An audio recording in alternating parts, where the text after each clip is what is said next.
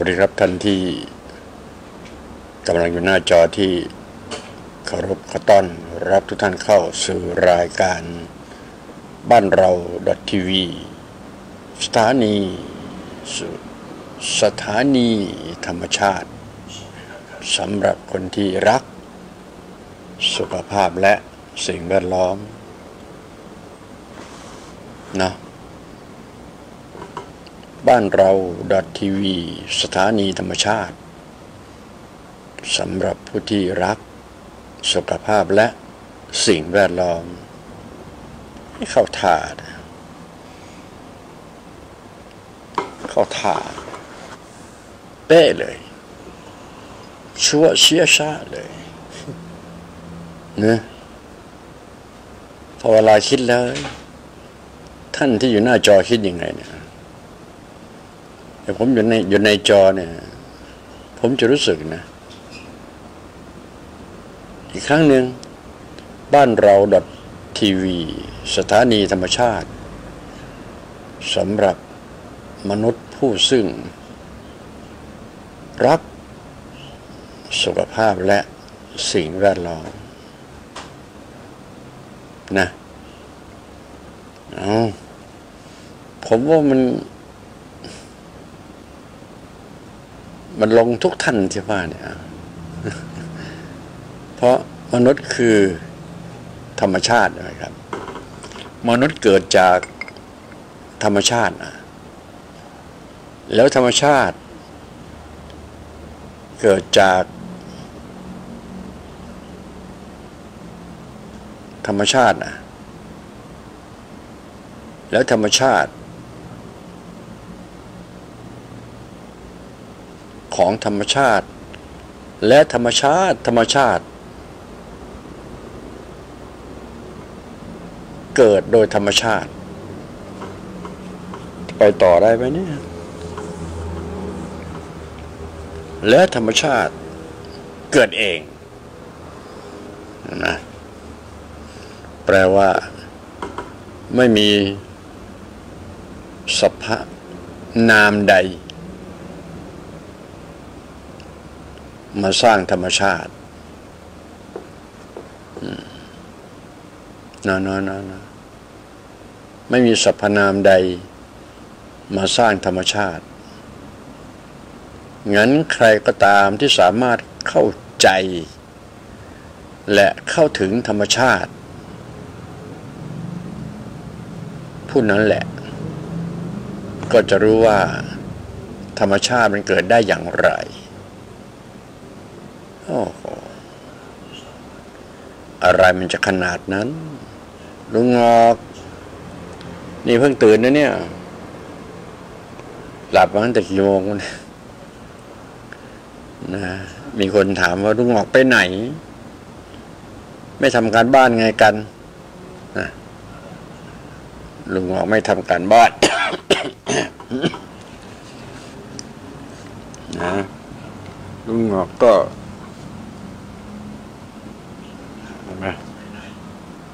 ไม่ทำการบ้าน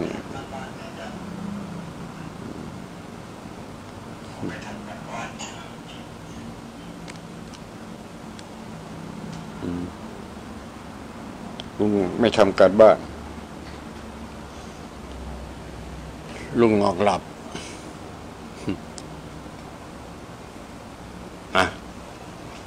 มาทำการบ้านช้าไปหน่อย ช้าตั้งชั่วโมง ก็เพราะหลับนั่นนะฮะจึงเล่าให้ฟังเมื่อกี้เนี่ย ธรรมชาติ ธรรมชาติและธรรมชาติ ไม่มีใครสร้างสุดท้าย ธรรมชาติเกิดเองนะเกิดเองนะ ธรรมชาติเกิดเองนะ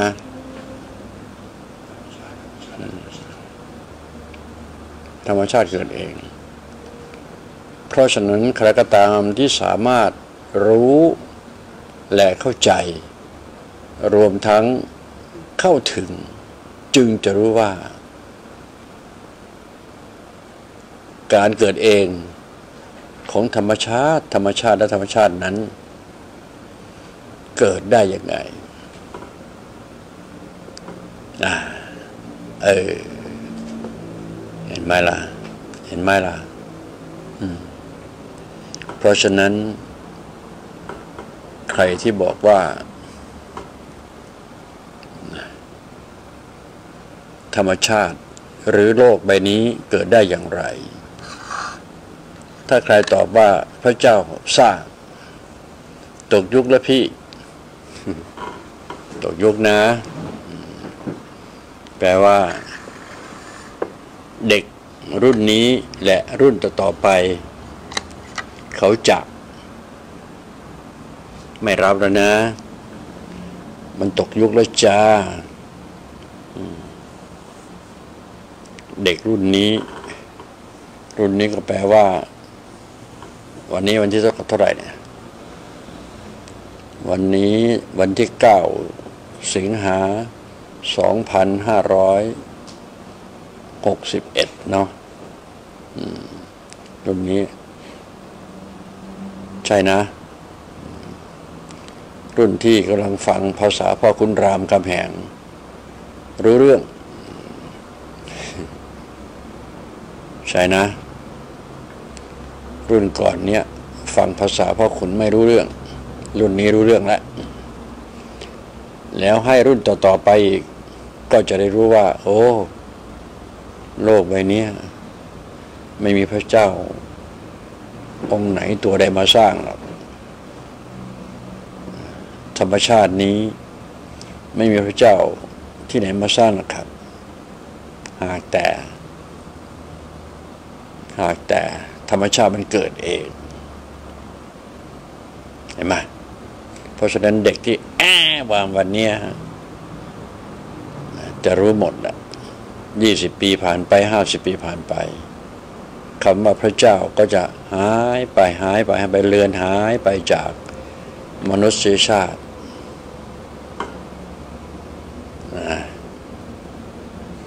หายไปแล้วหายไปหมด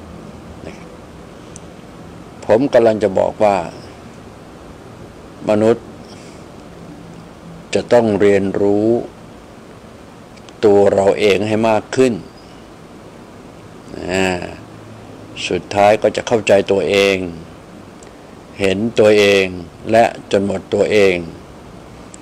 มนุษย์ก็จะรู้ว่าอ๋อการรู้เข้าใจตัวเองแล้วเข้าถึงตัวเองนั้น มันเหนือกว่าใด ๆเหนือกว่าพระเจ้าแน่นอนนะครับ จึงจะรู้อ๋อที่คนเกิดก่อนเขาบอกพระเจ้าสร้างพระเจ้าสร้างพระเจ้าพระเจ้า โถเอ้ยมันอยู่ตรงนี้หรอกหรือคำตอบสุดท้าย พระเจ้าคำว่าพระเจ้านั้น อยู่ในตัวของทุกท่านนั่นแหละ จบข่าวเลยไหมครับเห็นไหมก็แปลว่าต้องเข้าถึง เข้าใจรู้เข้าใจ และเข้าถึงแก่นแกนของธรรมชาตินั่นเองครับ จึงจะรู้ว่า โลกใบนี้เกิดได้อย่างไรครับ ที่ผมกำลังพูดตรงนี้ก็คือคำอธิบายเรื่องอยินไตนั่นนะครับ เพราะมีคำถามว่าอายินไต มันมาจากคำว่า มันมาจากคำถามว่า มันมาจากคำถามที่ว่าอายินไตมันคืออะไร อหินไตคือปรัชญา ปรัชญาเนี่ยคือความสงสัย สงสัยว่าโลกใบนี้เกิดได้อย่างไร กรรมเกิดได้อย่างไรฌานสมาบัติเกิดได้อย่างไร และมีพระศาสดาพระองค์หนึ่ง ยังไม่ต้องรู้ว่าพระองค์ชื่อชื่อเสียงเรียงรามอะไร และพระองค์ไปรู้กับสิ่งที่ลุงหอกจะได้ฟังนี้ได้อย่างไร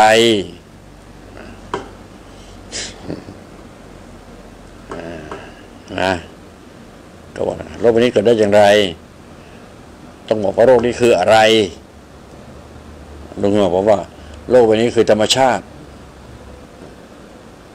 เพราะฉะนั้นธรรมชาติและโรคนี้ก็คืออันเดียวกัน เมื่อถามว่าโรคนี้เกิดได้อย่างไรเห็นไหม มันเกิดเองใช่ไหมครับดวงอาทิตย์ดวงนี้ มันเกิดอย่างไร มันมันคืออะไรก่อนอะมันคืออะไรก่อน มันคือธรรมชาติมันเกิดได้อย่างไร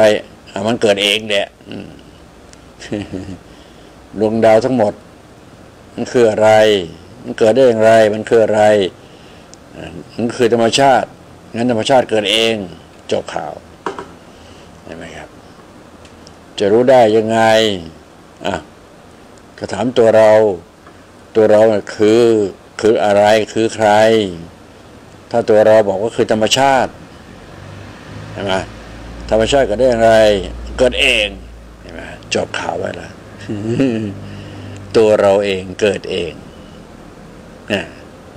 ถ้าไปถามพ่อแม่เรา พ่อแม่เราจะตอบว่ายังไง จะไปรู้ได้ไงอะ ไปถามว่าเองสิครับ ใช่ไหมฮะ เพราะฉะนั้นบ้านเราดอททีวี สถานีธรรมชาติต้องรู้เข้าใจและเข้าถึงธรรมชาติ จึงจะรู้ว่า ธรรมชาติเกิดได้อย่างไรคำตอบสุดท้ายจะต่อรอง เกิดเองจ้าตะลันตะลันตะลัน ตะลันตะละลันตันตันตันตันตันตันบ้านเราเคียงกันแอบมองทุกวันเลยเชียว เห็นหน้าประเดียวเดียว หัวใจแห้งเหี่ยว หัวโต ไปละไปละไปละดูสิ มีกี่ชีวิต ตื่นมาพร้อมกัน อ้าวคนไหนไม่ตื่นก็ยังไม่รู้แล้ว เนี่ย ที่เราให้ฟังไหวนะ ไม่ใช่พูดเล่นนะเมื่อกี้เนี่ย อืม ตั้งใจพูดด้วยนะ ตื่นมาปุ๊บได้เรื่องเลยไม่ละครับแล้วก็ไม่รู้ตื่นมาทำไมก็ไม่รู้ที่ว่าเนี่ยนะ มันตื่นมาแล้วแล้วไป อืม เอามีไผบ้างวันนี้นะครับ ขออนุญาตสกิดเบาๆหน่อยนะ อย่าโต๊ะใจนะสกิดเบาๆเท่านั้นเอง อย่าโต๊ะใจนะอืมอืมเอาให้วันนี้ดูมันจะมี หน้าใหม่ ๆ เนาะยินดีต้อนรับทุกท่านครับ หน้าเก่าหน้าใหม่ ก็ถือว่าหน้าสวยหน้าหล่อทั้งนั้นเนาะหน้าสวยหน้าหล่อใจสวยใจหล่อไหมล่ะถ้าใจสวยใจหล่อจะเป็นเช่นไรเอาไมจะบอก ถ้าใจสวยและใจหล่อจะรู้สึกยังไง ตอบ ถ้าใครก็ตามที่รู้ว่า ใจหล่อใจหล่อ ใจสวย คนไหนใจรอใจสวย คนนั้นก็ตอบว่าใจดี คนไหนที่บอกว่าใจดี เป็นคนใจดี คนใจดีต้องมีคำว่าเมตตา คนไหนที่มีเมตตา คนนั้นก็ต้องมีรังสี มีออร่าที่ออกผิวพรรณผุดผ่องออกจากผิวกาย ผิวกายก็จะ เนียน ดูแลแล้วสะอาดสะอาดสะอาดเนี้ยนั่นแหละก็เรียกว่าคนใจหล่อ คนใจสวย คนใจดี เพราะมีเมตตาต่อกันและกันไว้แม่นบ่แม่นหลีบ่แม่นหลีบ่รอบังดู ผู้ใดใจรอใจสวยนี่เป็นอย่างไร ดูสิหัวใจแล้วฉันมีสี่ห้อง จะยกให้น้องเอาไปดองเอาไปกิน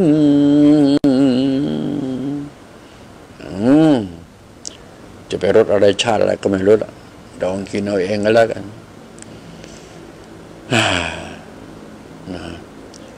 ใจหล่อใจสวย เขาเรียกว่าเป็นคนที่มีเมตตาที่เป็นรังสีก็เป็นรังสี เมตตา ก็มีเผื่อแผ่แบ่งปัน แม้แต่สิ่งที่ตัวเองรู้ สรุปว่ามันดี แล้วก็แบ่งปัน ก็แปลว่าบอกต่อต่อกันไป เขาเรียกยุคสมัยที่เรียกว่าแชร์ ยุคสมัยนี้เขาเรียกว่าแชร์ แชร์แปลว่าเชื่อม แปลว่าแบ่ง แปลว่าปันพี่รู้สองน้องรู้หนึ่งเห็นไหม มันก็จะไปวนๆของมันเนาะไม่รู้จับทางได้หรือเปล่าท่านที่อยู่หน้าจอ ผมก็ไปเรื่อย ถ้าจับทางได้ก็สรุปเนาะเพราะฉะนั้นต่อไปนี้คำว่าพระเจ้าจะไม่อยู่ในหัวใจแล้วนะมาศึกษาในตัวเราซะ ให้รู้ตัวเราให้เข้าใจตัวเราเห็นตัวเราจนหมดตัวของจนหมดตัวตนของตัวเราเอง ก็จะรู้ว่าคำว่าพระเจ้าที่มนุษย์พูดถึงกันมาหลายร้อยรุ่นคนนั้น ต่อไปนี้ก็จะไม่มีอะไรนะครับถ้าหากว่าคนเกิดก่อนเขายังบอกว่ามีพระเจ้าอยู่ ก็แปลว่าพระคนนั้นขี้ฮกตัวเอง ขี้ฮกตัวเองนะใช่นะ เพราะฉะนั้นศึกษาอะไรก็ศึกษาไว้เถอะศึกษาเพื่อนำมาซึ่งการประกอบสมาชีพชอบ ให้มันอยู่ได้กับชาวโลกทำไมล่ะคุยกับชาวโลกรู้เรื่องการเห็นไหมอยู่กับชาวโลก คุยกับชาวโลก นะพึ่งพาอาศัยทั้งทางตรงทางอ้อมของกันและกัน ระหว่างชาวโลกกับชาวเรานะชาวเราคนในบ้านเราดัทีวีนี่เนาะสองหมื่นกว่าชีวิตเนี่ยเราเรียกว่าชาวเรา เมื่อรู้เข้าใจตัวเราก็ต้องรู้เข้าใจชาวโลกด้วยเหมือนกันนะแล้วเรากับโลก ชาวโลกนั้นก็จะอยู่ได้ด้วยกันอย่างสันติวิธีนะ ก็ไม่ไม่มานั่งคิดเข็นคิดฆ่ากัน ไม่ทะเลาะเบาแวงกัน มีอะไรก็วางเฉยต่อกัน เฉย หรือคำว่าอภัยอันเดียวกันนั่นแหละเฉย เดินสวนทางกันไปมาก่อนเฉยนะอืมนะ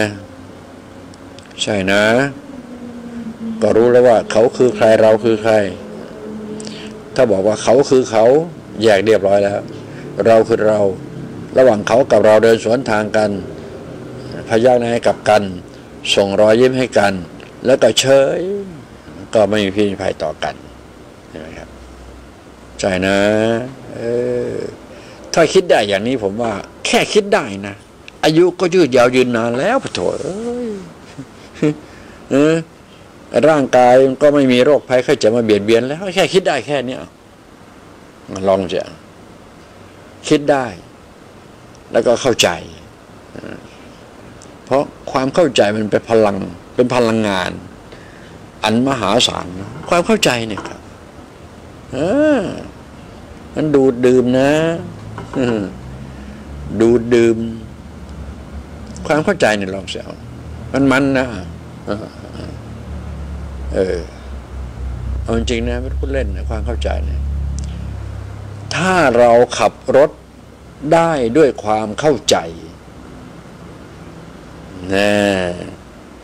แล้วเราก็จะขับรถได้อย่างเป็นคนที่มีน้ำใจ ไม่รู้มันเข้าใจสักอย่างมีน้ำใจเองอะ่ะแล้วคนที่ขับรถได้อย่างเข้าใจและมีน้ำใจในการใช้ถนนร่วมรวมกัน คนนั้นก็จะขับรถ ได้สบายสบาย ใจไปถึงไหนก็ไปถึงนั่นไม่เหน็ดเหนื่อยเมื่อยล้า เหมือนคนขับรถที่ไม่เข้าใจ เห็นไหมอ้าวไม่ได้ใช้วาทกรรมนะ ถ้าขับด้วยความเข้าใจ มันจะไม่เหน็ดเหนื่อยเมื่อยล้าเนี่ย ไปไหนไปได้ขึ้นเขาลงห้วย จะช่วยเหลือชาวบ้านบ้างไม่ช่วยก็ไม่เป็นไรถ้าช่วยก็ถือว่าเป็นสิ่งที่ดีเลิศประเสริฐสมนแตนถ้าไม่ได้ช่วยก็ไปถึงที่หมายปลายทางได้อย่างสั่งงามสม ศักดิ์ศรีของการที่เป็นมนุษย์ที่มีความเข้าใจในการกระทำสิ่งใด ๆ ความเหน็ดเหนื่อยเมื่อล้าก็จะไม่เกิดขึ้นกรุงเทพเชียงใหม่เชียงใหม่กรุงเทพรับรองว่าสบายมาก ไม่ปวดไม่ร้าวใดทั้งสิ้น ขับไปด้วยร้องไปด้วยรำไปด้วยก็คนมันเข้าใจนะมันก็เพลินเป็นการพักผ่อนในตัวเลยลองดูสิครับ ลุงออกเจ็ดสิบกว่าปีแล้ว สบายเดี๋ยวนี้เด้อเจ็ดสิบสี่ปีแล้วไม่ได้พูดเล่นนะเดี๋ยวนี้สบายไม่มีปัญหาทำเวลายังพอได้เลยนะ ทำเวลายังพอไหวอยู่ แต่พยายามอย่าไปทำเวลาเลย เพราะว่า เดี๋ยวมันจะเป็นกลายเป็นผีเฝ้าข้างถนน เอาช้าถึงบ้านดีกว่า ช้าถึงบ้าน เราต้องมีคำประจำใจเรานะขับรถขับช้าถึงบ้าน ขับเร็วถึงโรงพยาบาล ดีไม่ดี ถ้าหากว่าเร็วแบบไม่ฟังเสียง AM และ FM คือไม่ฟังเสียงแปลว่าไม่เข้าใจนะไม่เข้าใจก็ไม่มีความสุขในการขับ ถ้าเป็นเช่นนั้น หวังได้เลยคุณนะคำตอบสุดท้ายคือไปแบบไม่เข้าใจตะพึดตะพือตะบี้ตะบันตะบึง แทนที่จะช้าถึงบ้าน กลายเป็นเร็วถึงยมบาลเจ้าค่ะ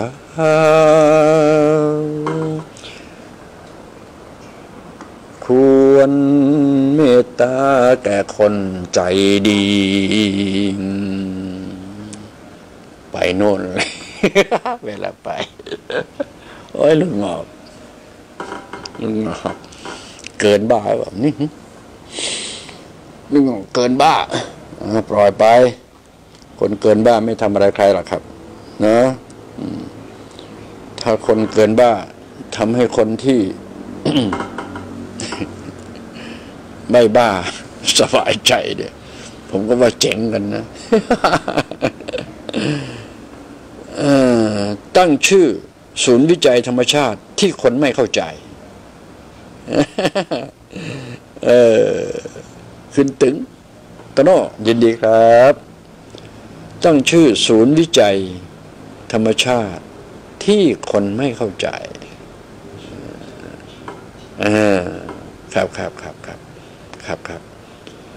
ศูนย์วิจัยธรรมชาติ ศูนย์วิจัยพลังงาน รักษาธรรมชาติ แปลว่า เมื่อเข้าใจธรรมชาติ มันก็จะรักษาธรรมชาติได้ เออ เออศูนย์วิจัย พลังงาน รักษาสุขภาพ และสิ่งแวดล้อมบ้านเราดอททีวี สถานีธรรมชาติ ผู้ใดรัก ธรรมชาติ และสุขภาพ ผู้นั้นก็จะเข้าใจธรรมชาติ ก็จะรักษาธรรมชาติได้เอง เช่น ตัวเราคือธรรมชาติ อย่างลูกงอกนี้ธรรมชาติแน่นอน เพราะฉะนั้นจึงสามารถรักษาตัวลูกงอกเองธรรมชาติได้สบายนะครับ เพราะฉะนั้นเขามาตั้งชื่อศูนย์วิจัยธรรมชาติที่คนไม่เข้าใจ เพราะฉะนั้นต่อแต่นี้ไปขอได้โปรดให้เข้าใจธรรมชาติซะ จะรู้ว่าธรรมชาตินะมันยิ่งใหญ่จริง ๆ ขอให้เข้าใจ นะฮะขอให้เข้าใจ ทั้งทั้งที่ตัวเราเป็นธรรมชาติ แต่ไม่เข้าใจธรรมชาติ และมันเข้าใจไม่ได้เลย มันไม่ได้มาสกัดกั้นอยู่ด้วยแปลกนะ เออ เออ รู้ เอาล่ะรู้ว่าธรรมชาติ นั่งพูดอยู่นี่แล้ว ขออนุญาตนั่งฟัง ยืนฟังนอนฟังอยู่นั่นหรือเปล่า แต่นั่งพูดอยู่นี้ธรรมชาติแน่นอน รู้ว่าธรรมชาติ ข้างตัวเรามองไปข้างนอก รู้ว่าธรรมชาติ แต่ทำไมจึงไม่เข้าใจธรรมชาติ ไม่เข้าใจ แล้วมันก็เข้าใจไม่ได้ด้วยอะโอ้ย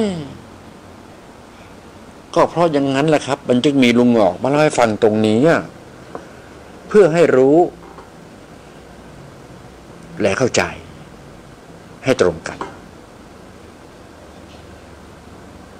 นะแน่นอนลุงหงอกต้องรู้ และต้องเข้าใจ รวมถึงเข้าถึงเข้าถึงแล้วด้วย จึงมาช่วยกระตุ้นสะกิดเบาๆ ให้รู้และเข้าใจ พร้อมๆกับ การเข้าถึงมากน้อยข้อแรงประการใด ด้วยกัดลุงออกจะบอกว่า เป็นมนุษย์พันธุ์ใหม่ในศตวรรษที่ 21 นะสิบอกให้มาเป็นมนุษย์พันธุ์ใหม่เถอะว่า ไม่ใช่ลัทธินะมนุษย์พันธุ์ใหม่ พันธุ์ที่รู้จักตัวตนอันเป็นของตัวเราของเราเองแท้ๆนี่